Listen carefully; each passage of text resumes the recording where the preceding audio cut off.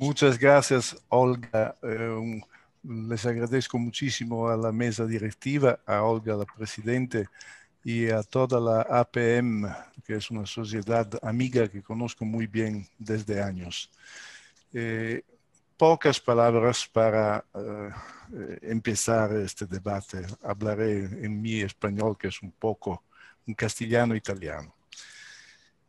Sería difícil entender el significado, los orígenes y los objetivos del proyecto IPA de un diccionario enciclopédico interregional de psicoanálisis sin referirse a la historia del movimiento psicoanalítico, su progresiva migración y organización en diversas áreas geográficas y lingüísticas, y cómo las comunidades analíticas locales han recibido, estudiado y elaborado a veces a su manera, los conceptos básicos del psicoanálisis y luego han creado también otros nuevos, evolucionando así nuestra disciplina como un organismo vivo en transformación.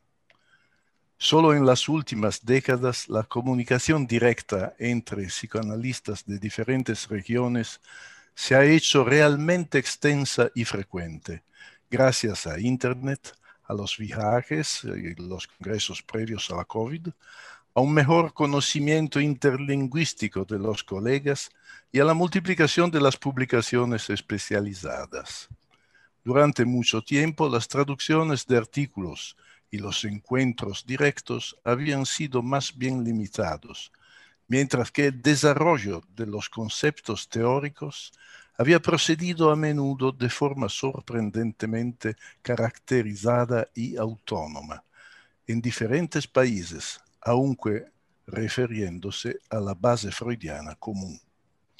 Se produjeron así versiones locales de algunas ideas psicoanalíticas, una riqueza potencial extendida, pero aislada, no conocida por otras familias analíticas geográfica y lingüísticamente distantes.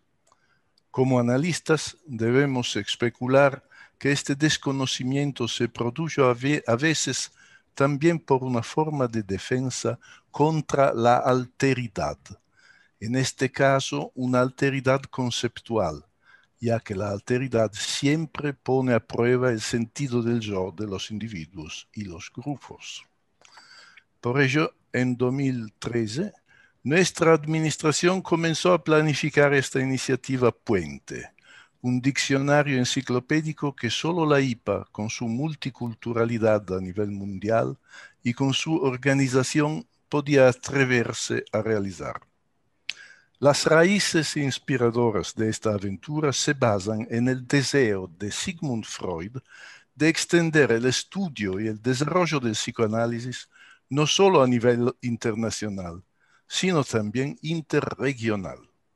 En el reconocimiento comunitario progresivo de Wallerstein de la existencia actual de muchos psicoanálisis, en, la iniciativa CAPSA de Eiseric de apoyar concretamente los intercambios científicos entre las diferentes regiones, y en el concepto de mentalidad IPA, IPA, como una visión común extendida más allá de las fronteras de cada escuela o nación, sin renunciar a la identidad específica de cada una de ellas. Por supuesto, eh, el proyecto, eh, una vez concebido el proyecto, el qué, había que construir la metodología, el cómo organizarlo y desarrollarlo. Uh, Eva Papiasvili hablará de esto más específico.